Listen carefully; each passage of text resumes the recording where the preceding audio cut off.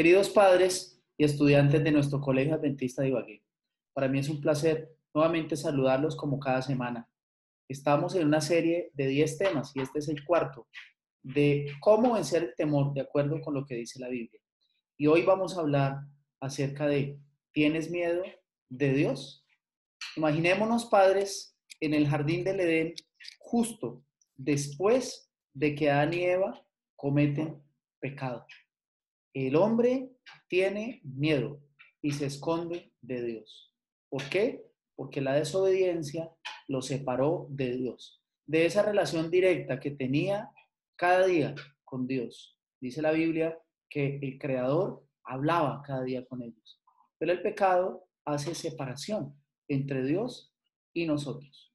Pero demos un vistazo a este inicio histórico del miedo y vamos a buscar lo que dice Génesis el capítulo 3 y el versículo 10. Justo después de que el hombre peca y Dios viene a buscar al hombre, el hombre responde, oí tu voz en el huerto y tuve miedo, porque estaba desnudo, por eso me escondí. Es interesante que cuando el hombre peca, es Dios el que viene y lo busca cuando debiera ser al contrario. Cada vez que estamos temerosos, escondidos de Dios, con miedo, es Dios el que viene y nos busca. Dice la Biblia entonces que el hombre tuvo miedo y se escondió. El miedo que produce la desobediencia nos lleva a escondernos de aquel que nos ama, de aquel que provee para todas nuestras necesidades, de aquel que quiere lo mejor para nosotros. Queridos padres y estudiantes, hoy el hombre también se esconde de Dios.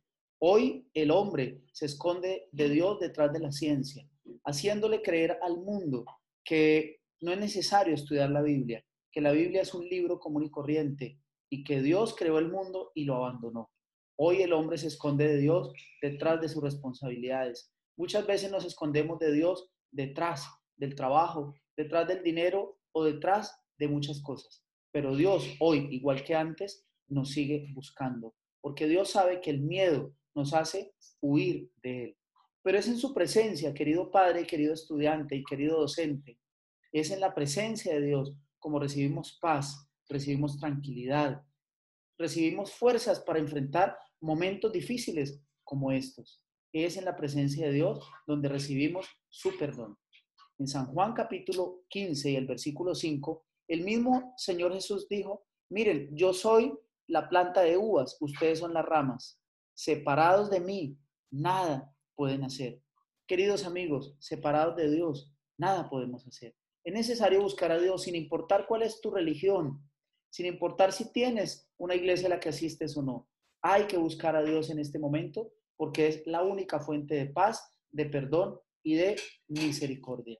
Quizá la culpabilidad nos impide acercarnos a Dios. Algunos dicen capellán, pero si usted conociera mi vida, he sido muy malo, he hecho muchas cosas. Dios no me puede aceptar. Bueno, tengo para todos hoy una buena noticia. En San Juan capítulo 6, el versículo 37, el Señor Jesús dijo, porque los que a mí vienen, no les echo fuera. Dios no nos va a echar fuera. Dios no nos va a despedir. Dios no nos va a rechazar porque Él no es como nosotros. Quizá nosotros rechazamos a las personas por cierta condición, pero el Señor no nos rechaza, aunque hayamos cometido pecado. El Señor quiere perdonarnos. Dios nos ama. Dios te ama y me ama y está esperando que vayamos a Él y le pidamos perdón y le digamos que nos ayude a vencer el miedo para volver a su presencia. Es un buen momento, querido padre, querido estudiante, querido docente y persona que me escuchas, es un buen momento para buscar a Dios. Es un buen momento para poner nuestras necesidades en sus manos y es un buen momento para cerrar esa brecha que el pecado ha abierto entre Dios y nosotros. Querido Padre, querido estudiante, querido docente, confiemos en Dios, porque Dios nos ama y es Dios y solo Él el que nos puede ayudar a vencer el temor. Y recuerden que cuando el hombre se esconde de Dios, Dios viene a buscarte. Dios te está buscando. Déjate encontrar por Él. Dios te bendiga.